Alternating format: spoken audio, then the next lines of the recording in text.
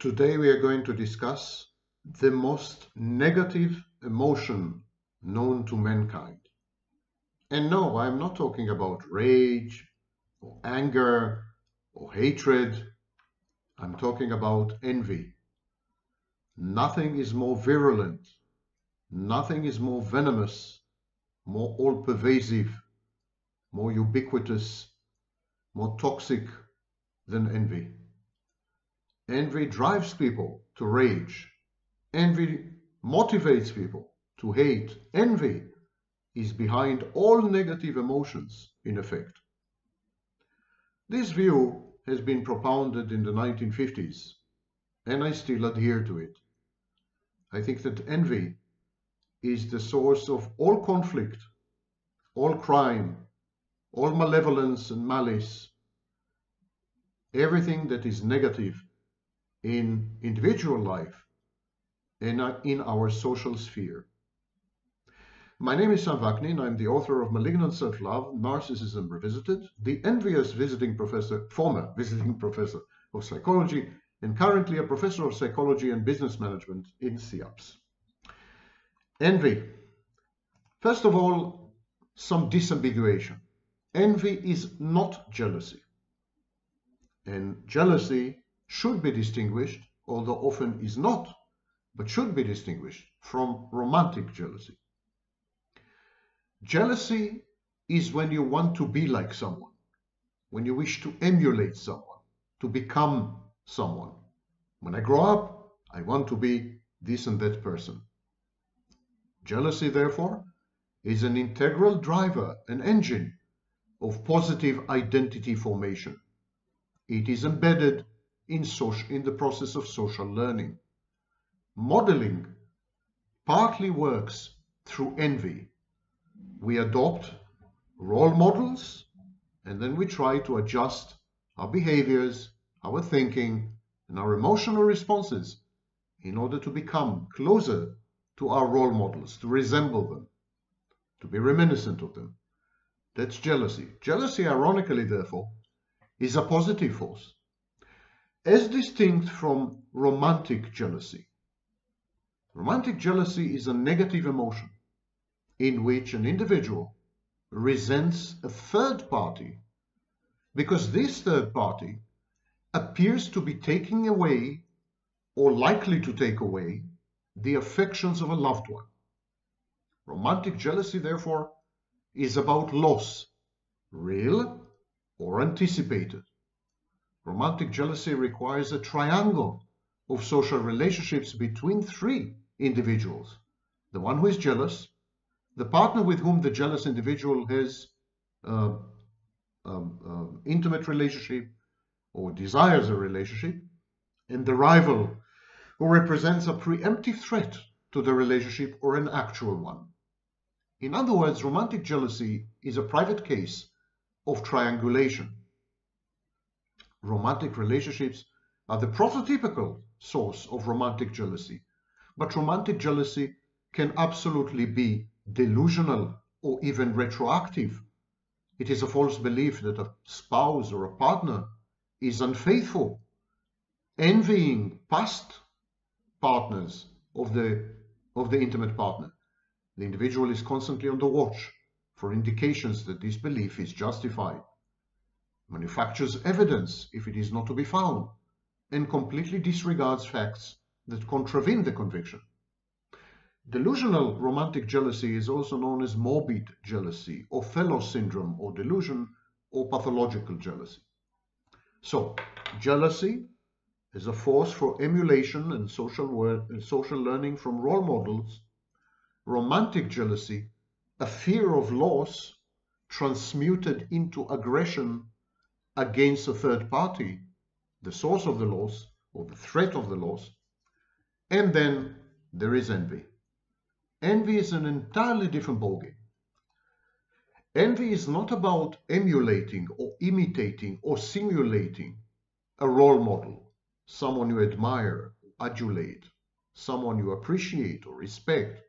That's not envy, that's jealousy. Envy is about destroying someone you perceive to be better than you, more fortunate than you, luckier than you, richer than you, more educated than you, more intelligent than you, more good looking than you, more. The desire to reduce people to size, to cut them down, to take them down, to somehow level the playing field so that you don't feel inferior in any way, shape, or form. It's a destructive urge. Envy is just another name for extreme annihilating aggression. Your wish is to eradicate the, force of the source of frustration, to get rid of this nagging internal effect that, you know, this is destroying your life, is consuming you. Envy has obsessional elements and leads to compulsive actions. Now, the difference between affect and emotion is that emotion is the, the feeling itself, and affect is the way we experience the feeling. So there is envy, which is the feeling of, I want to destroy this guy, or I want to destroy this girl, because they are so evidently and manifestly better than I am in some respect, or in all respects. That's the feeling. And the affect is how one experiences the feeling, how one experiences the envy, which is very self-defeating and self-destructive and all-consuming and debilitating and depressing. To experience envy is to self-immolate, is to destroy yourself gradually, incrementally. To experience envy is to burn slowly in the fires of internal hell, unquenched. And so today we are going to discuss envy. Of course, envy is founded on other more primordial or primitive units, emotional units or emotions. For example, shame. Envy is founded on a reservoir of shame that is perceived to be life-threatening or dangerous. In a desperate attempt to avoid shame, the envious person redirects aggression to the outside. He externalizes aggression. If you feel shame to the extent that it is life-threatening, you usually become suicidal. You want to kill yourself and get rid of this feeling of shame. So shame is life-threatening in the truest sense of the word. And one of the ways to, to somehow subvert this risk of suicide, somehow remain alive, is to redirect the aggression from inside to the outside. And this redirection is known as envy. There is humiliation involved. When you compare yourself to the, to the object of your envy, when you compare yourself to the person you envy, and usually it's a person, when you compare yourself, you feel inferior. You feel ashamed. You feel humiliated, degraded, debased, demeaned by comparison. Envy is comparative, relative positioning. You compare yourself to someone and you, you are found wanting. You are found deficient. And these generate enormous humiliation. Ironically, envy implies the what I call reverse grandiosity. Envy implies that this, the, the person you envy is superior to you. You believe that person to be superior to you. You aggrandize and idealize that person.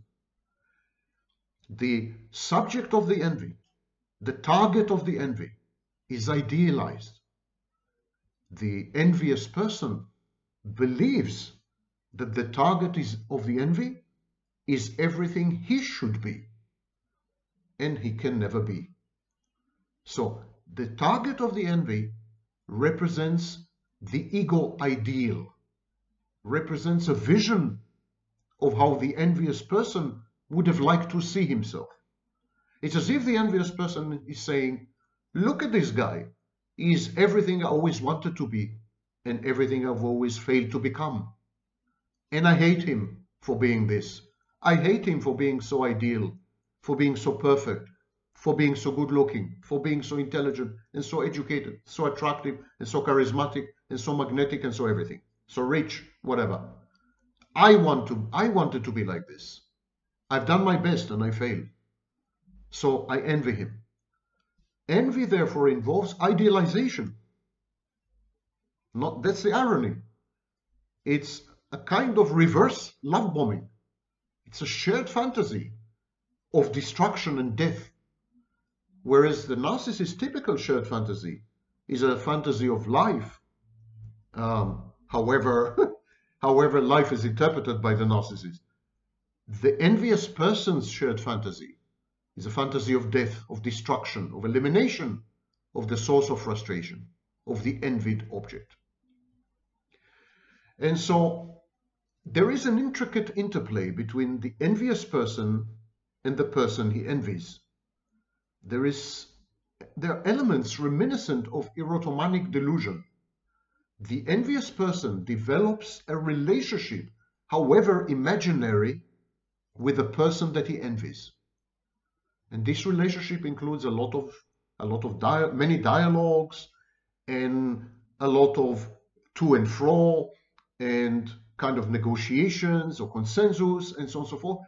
The the envious person attempts to reach an equilibrium, a homeostasis with the envied person. This all revolves around bad object management.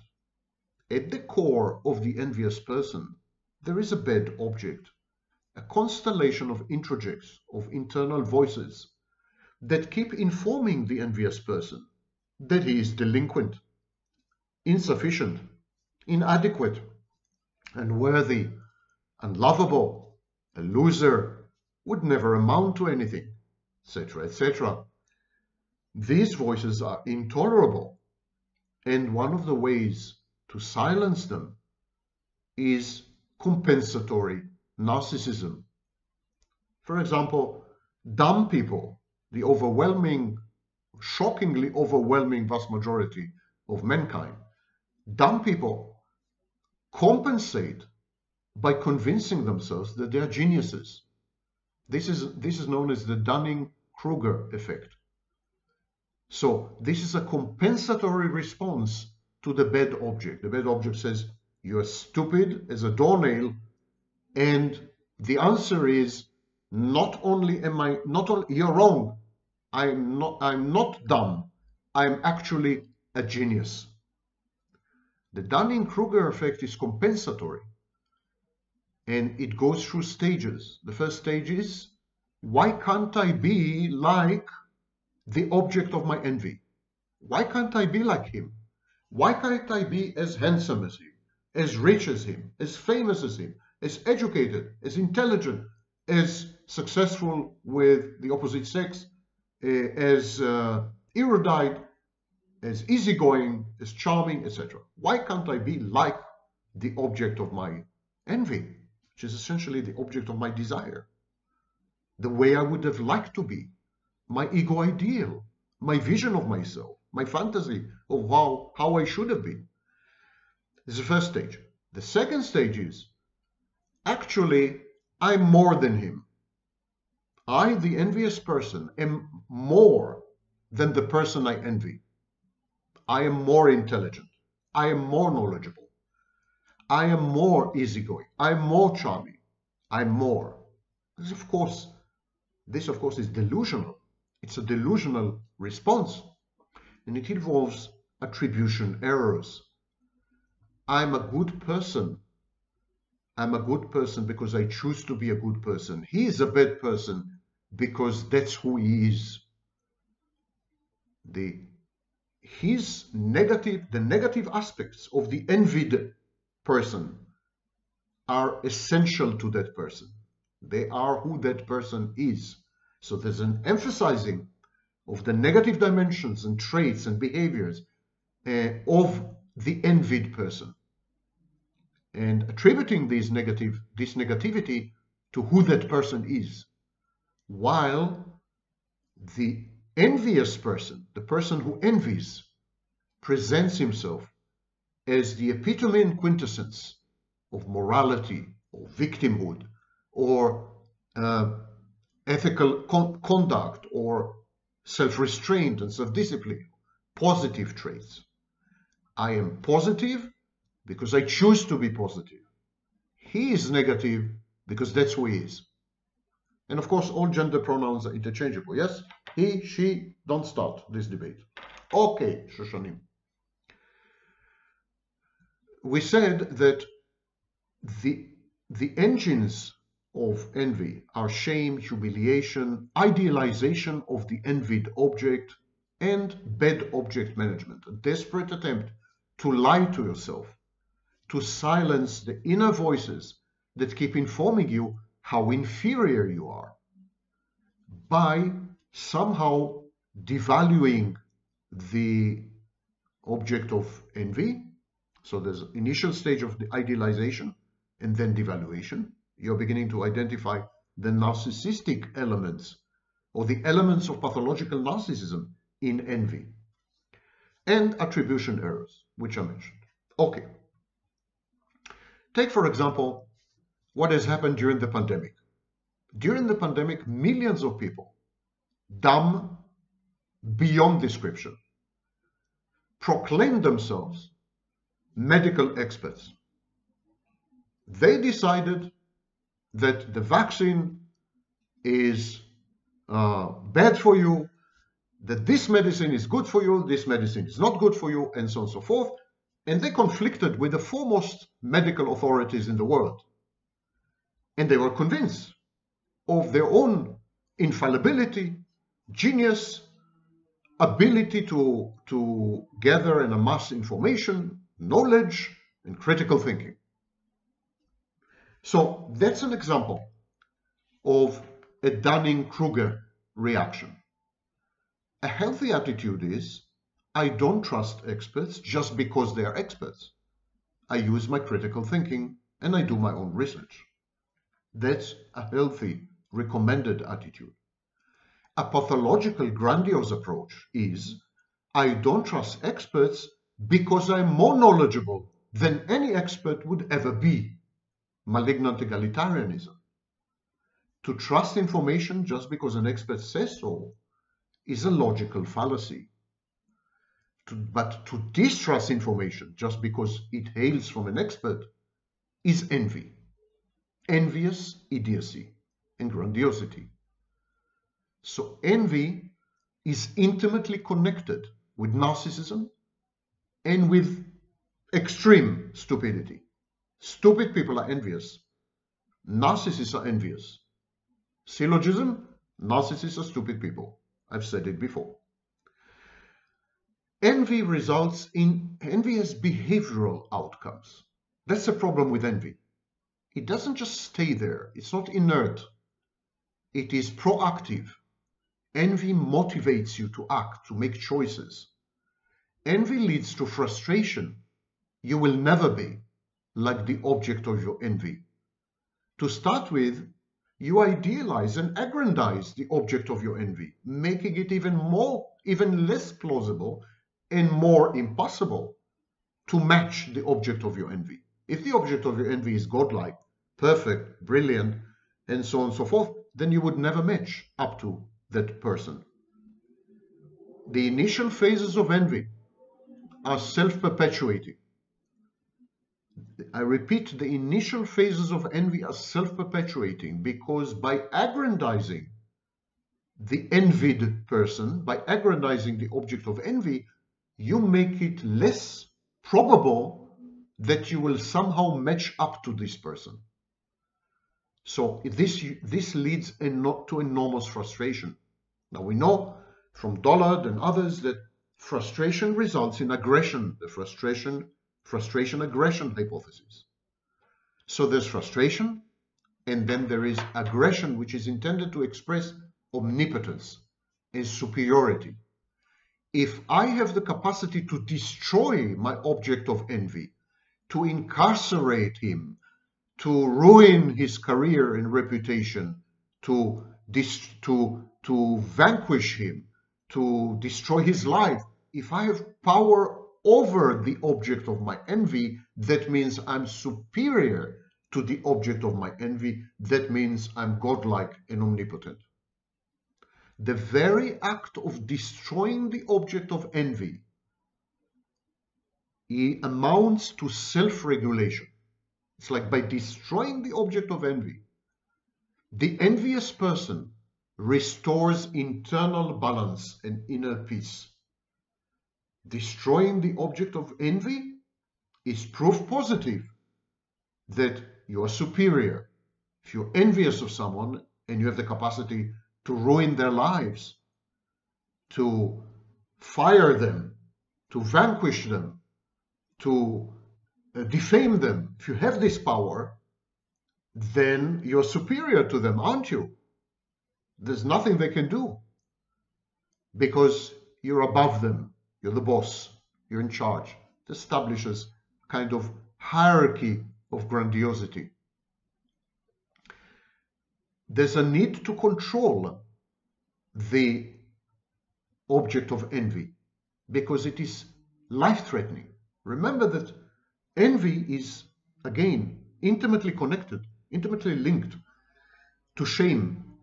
And this is life-threatening shame. So it, the object of envy, the person you envy, is essentially constitutes a threat at the very minimum to your mental health, but possibly to your life, depending on what level of mental illness you're at. So the need to control the object of envy is anxiolytic. It reduces anxiety. Envy increases anxiety. The only way to mitigate and ameliorate this nagging, all-pervasive, debilitating, debilitating anxiety is by controlling the object of envy. Now you can control the object of envy by destroying it. You can control the object of envy, envy by stalking it. You can control the object of envy by defaming it. You can control the object of envy in a variety of ways, all of which are destructive to the object of envy. Ultimately, the only way to get rid of the envy is to destroy the object of envy. You need to devalue this superior object in order to quell and somehow uh, calm down your inferiority complex. If the object of envy is gone out of your life, out of your mind, out of your thoughts, then you're at peace, in harmony again. And you need, therefore, to destroy it. There's no other option. You can't negotiate with it. You can't reach a consensus with it. You can't coexist with it. You can't co-opt it. You can't even assimilate it. You can't, there's nothing you can do with an object of envy except get rid of it. And this is the key difference between envy and other forms of negative affectivity, such as anger and so on and so forth. In anger, the main thrust, the main impetus is to change behaviors, to change someone's behavior. When you're angry, you're expressing displeasure with a specific behavior, hopefully inducing a change in behavior, or to hurt and to punish the object of the anger. And that's it. The anger dissipates and you move on. Envy never dissipates. Envy is always there as long as the object, object of envy is alive and thriving. You need to witness the object of envy languishing. You need to, to convince yourself that the object of envy has now reached a point in life that he is no or she is no longer worthy of being envied. In other words, if you destroy the object of envy, what is there to envy? If the object of envy is in prison, what is there to envy? If the object of envy is sick, what is there to envy? If the object of envy is dead, what is there to envy? If the object of envy um, eh, his reputation is destroyed. What is there to envy? You need to reduce the object of envy, to de-pedestalize the object of envy. You need to humanize the object of envy. You need to denude and deny the object of envy the idealized grandiosity that you have attributed to him or to her. You need to devalue the object of envy because you idealize the object of have idealized the object of envy to start with. It's all your in your mind. It's all in your head. It's all you're doing. Envy is a totally solipsistic, delusional, self-contained um, emo- uh, or and, and emotion, it, it's all to do with the internal environment. The object of envy is actually an internal object rather than an external one. And so envy is a negative emotion of discontent and resentment generated by desire for the possessions of the attributes or the qualities or the achievements of another person, the target of the envy. And unlike jealousy, envy involves only two individuals, the envious person and the person envied. And it, it is destructive. The only resolution for envy is the destruction of the envied object, or the envy, the target of envy. And so envy is at the core of aggression and the fount, the root of many, or if not most, negative effects and negative emotions. We would do well to tackle envy as the root cause of mental illness or man, many manifestations of mental illness. Because in today's world, with social media, with likes, with relative positioning, with a lot of exposure, with competition for attention, envy is the name of the game. Envy is at the core and the basis of narcissism. And it is infecting individuals and societies alike. It is at the core of re-emerging conflicts all over the world. We need to tackle envy urgently before it buries us, because that's where it's heading.